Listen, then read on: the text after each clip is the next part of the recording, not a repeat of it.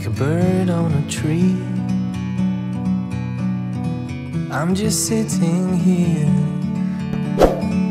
I got time,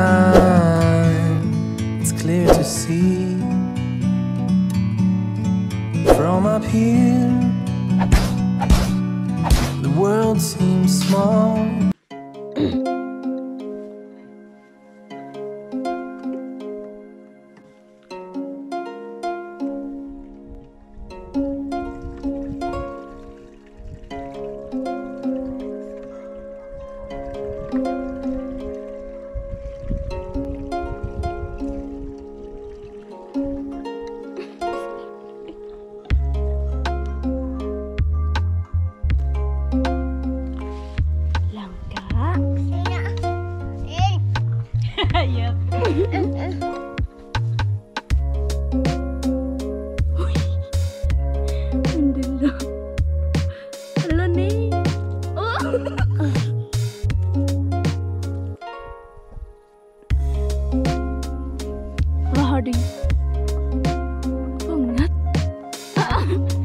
Go. Ja men den, den, den syns nu.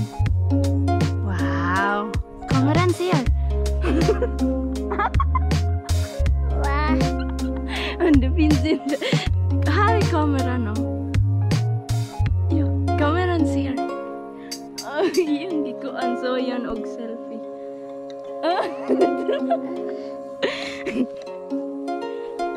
oh, vad är det?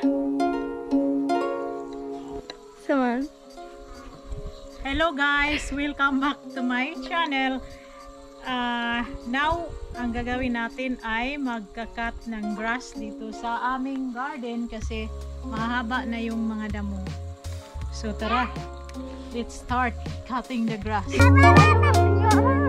Wala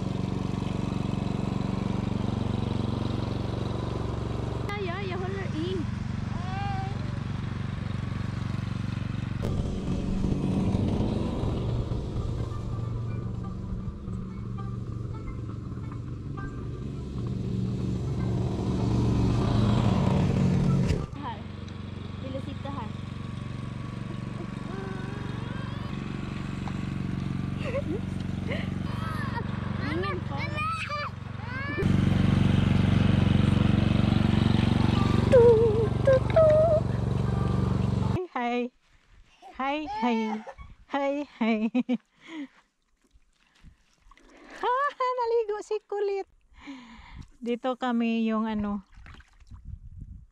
dito kami naliligo sa labas kasi yung to CR namin is hindi pa tapos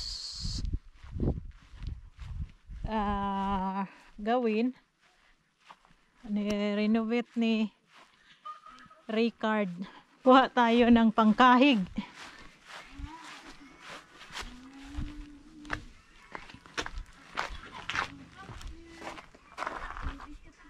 Kaya ang daming gamit dito sa labas ng bahay kasi yun nga yung CRI ni-renovate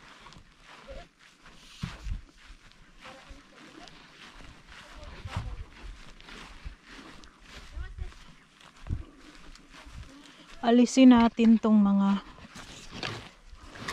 kutar na ito.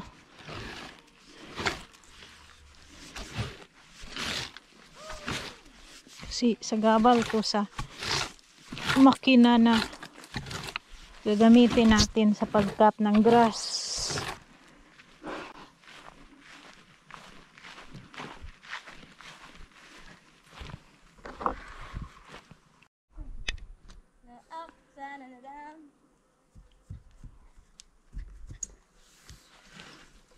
asa ni ibuta. Oh, oh, oh. Boom. Diha sa human na. ug ka- So ngayon, eh, pagpatuloy natin yung pagkiklip ng damo dito sa garden namin.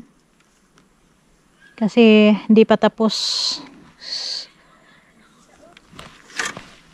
Kunin muna natin tong mga bagay na nandito sa ano natin, garden kasi hindi pwedeng merong ano mga gamit. Hindi pwede mag cut hey Missy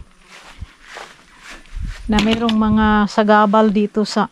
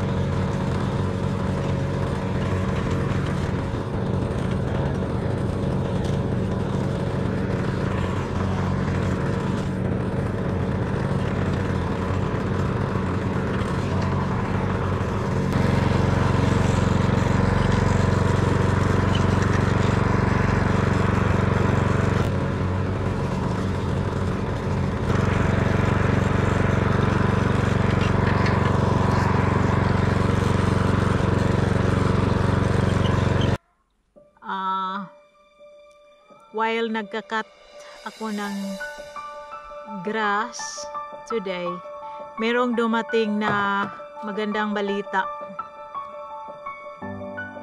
na ito yung ano pinaka matagal ko nang hinintay at pinakaaabangan ko na balita today ito na po yun guys yung pinakahihintay ko na papel. Na inaabangan ko hinihintay ko ng matagal na panahon. So hindi ko inakala na today ay meron tayong matatanggap na magandang balita galing sa pamahalaan ng Sweden. Hindi ko alam kung anong nara- mararamdaman ko. Parang nalulungkot ako at saka masaya din ako kasi parang parang ibig sabihin na na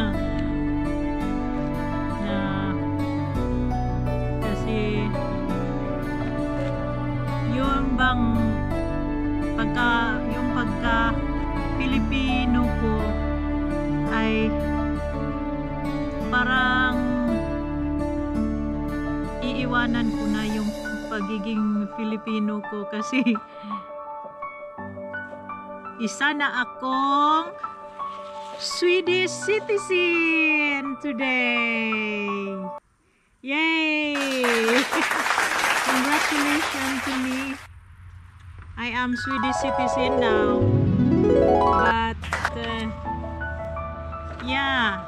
This is my uh, katunayan na ako ay isang Swedish citizen na. So, yay! Clap, clap, clap. So, paano na ngayon?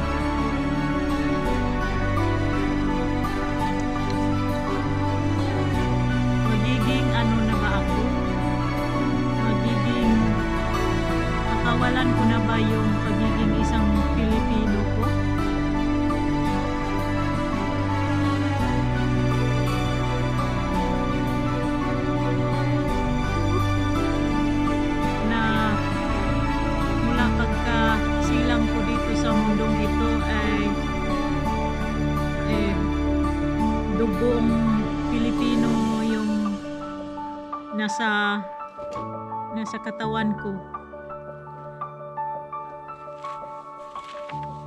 pero kahit na guys kahit Swedish citizen na ako hindi ibig sabihin na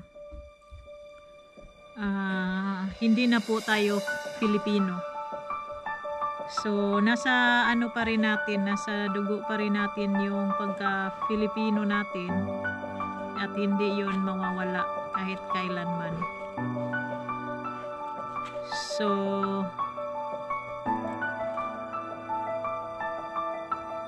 yeah. At saka yung ano, kasi may dalawa akong anak na Filipino din. So, automatic din sila na ano s- naging Swedish citizen.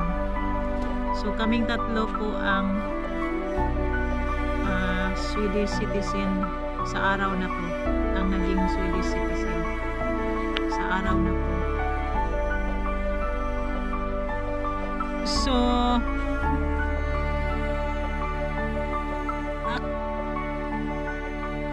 Iniisip ko kung magiging magdudual ba ako o magdudual citizen ba ako or hindi.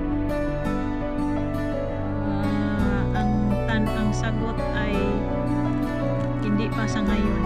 Pag-iisipan ko pa kung magdudual ba ako or hindi.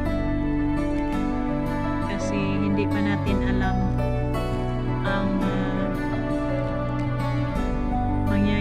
sa darating pang mga araw. So, ayan lang po guys for today. Uh, a big uh, congratulations to me for being a Swedish citizen. Tinatawanan ako ng aking makulit na anak. So, hope you guys uh, enjoy watching this video and please hit that like button. Up, up, up, in the. And please share my vlog, guys, if you like and don't forget to subscribe. Hi do. Hey do. Bye bye. Bye bye. Everyone.